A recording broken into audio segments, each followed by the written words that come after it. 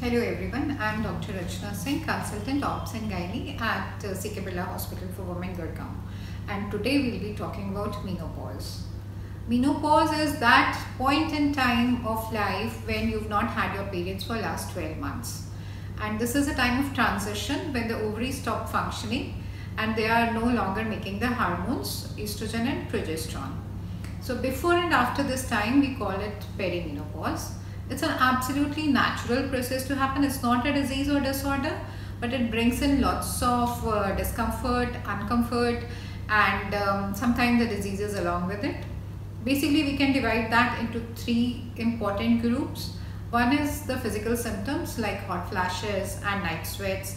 There is weight gain, there's vaginal dryness, loss of libido, and lots of UTI problems.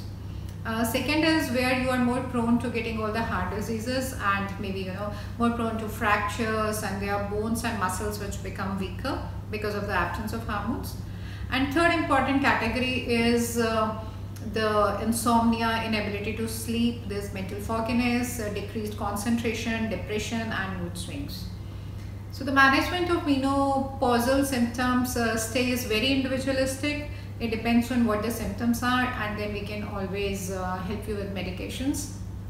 Based on those symptoms whether it's a vaginal cream or maybe supplements or something for thinning hair or maybe something for weight loss but it's very individualistic.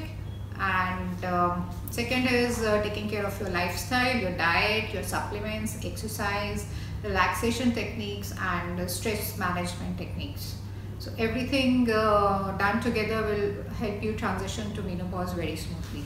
Thank you.